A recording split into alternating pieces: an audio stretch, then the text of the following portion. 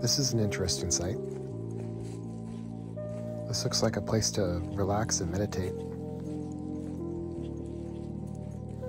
We could go left, but we're going to head straight. Take a look at these views. Something doesn't seem right. I'm going to check the map. The no return trail? No, thank you.